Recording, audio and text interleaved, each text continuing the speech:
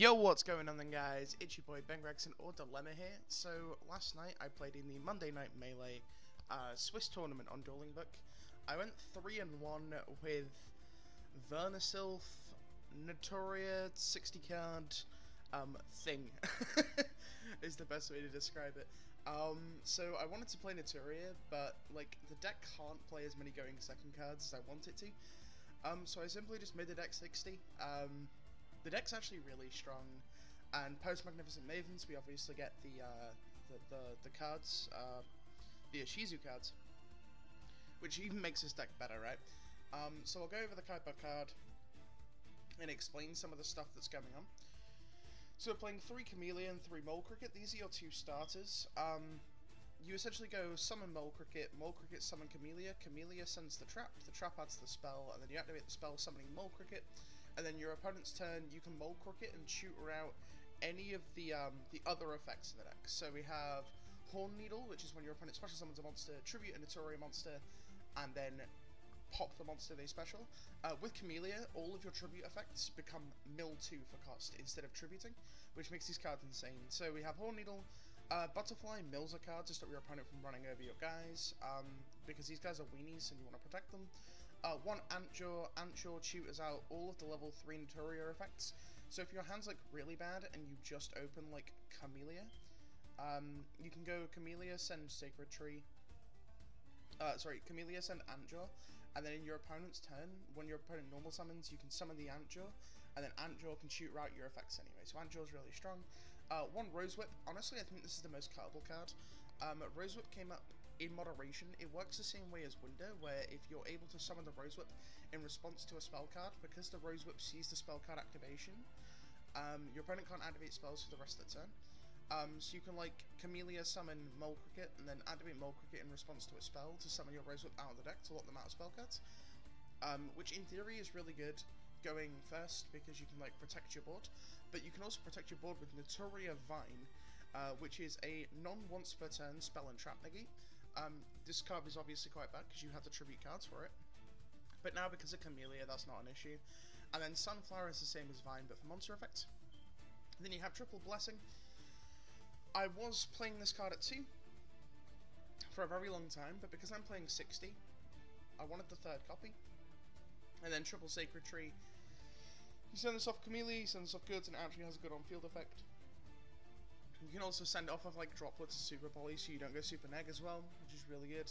Um, and then onto the going second cards, which are 3 Fenrir and 3 Kumongous. These are tutorable through Small World, um, and they're also Earth, which means you're not locked under the restrictions of the Vernusylph monsters, which say you can only activate Earth monster effects the turn you use them. Um, was really good throughout the event, and Fenrir was absolutely absurd. This card is so ban-worthy. It is unreal how strong this card is. Like, Darkling Blast was warped by, you know, the bestial cards and stuff, but Fenrir has been absolutely disgusting. Uh, triple Super Poly, I sacked a couple of people by drawing this for turn as my sixth card. Uh, Super Poly's insane. You can also, like, because we're playing Prosp, we have technically a higher chance of seeing Super Poly turn 1, and also it's a trap card. Uh, same with Forbidden Droplets, this is really good at breaking boards, and also it's technically a trap card. Uh, triple Ash, uh, triple Imperm, Bell, and Harpy's Feather Duster as our last getting second cards. Bell's a bridge to get you to everything uh, triple Prosperity to dig, and then we're playing triple Vernusylph for the Awakening Forests. So what Awakening Forest does is you discard it from your hand as well as another Earth to send an Earth from your deck to the grave, and then you reborn. So Vernusylph of the Awakening Forest is essentially another starter because you can discard it and any Earth monster to send Mole Cricket, and then and then summon back the Mole Cricket, activate the Mole Cricket, get the Rescue Rabbit effect, and continue on. Um, Vernusylph the Misting Seedlings is also just another Vernusylph name. So all the Vernusylph names are essentially Monster Reborn. Um, and this one adds another Vernusylph from your deck to your hand. So this will add this, and then this can use its effect. Uh, then we have one Vernusylph of the Flourishing Hills. This is technically the worst one. It's like a worse copy of Misting Seedlings, simply because this is level 4 and you'd rather have level 3 non-tuners in your deck. Um, and then two Vernusylph of and Fields, this is the same as the other ones where you discard it in another card. It reborns and then it adds Earth back from your deck to, uh, sorry, from your graveyard to your hand. So this is how you Naturia Bamboo shoot people both side, but also it's just a good extender. triple small world, triple Pyreries map, one for one, double foolish burial goods called by the grave harpies feather duster. Onto this side, we're playing triple evenly, triple Nibiru, double bell for our going second cards. Should probably sort this out a little bit. I was trying to sort this out beforehand. Um, but yeah, these these were all good in tandem. Like, I kind of wanted to play Cosmic Cyclone, but I also wanted to play a bunch of trap cards. So I figured, like, having an 8-7 split going first and going second cards was good enough. Uh, one Bamboo Shoot, triple Judgment, and triple Gozen match. And then for the extra deck, we're playing one Nat Beast, one Barkion, one Landoise, one Baronne, one Scrap Dragon. Scrap Dragon's here because if you use Vernusylph effects, you still want to clear the field. So you can, like, Scrap Dragon, pop your Sacred Tree, and then clear your opponent's things. And also, you do get a level 7 monster and a level 1 tuner quite often, so Scrap Dragon's quite easily accessible. Super Polling targets 1 Garura, 1 Dragostapelia, 1 Earth Golem Nista, 1 Starving Venom Fusion Dragon, 1 Mud Dragon of the Swamp, and 1 Steven Trifanovsky the Predaplant Dragon.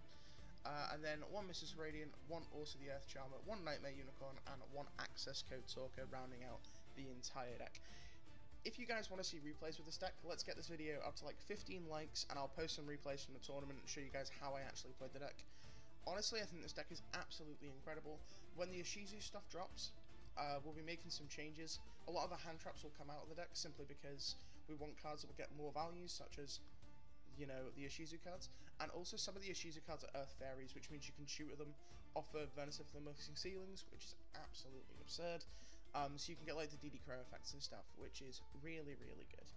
But yeah, that's going to be it for this video, guys. Thank you so much for tuning in. I'm sorry I don't upload much, but hopefully this makes up for it.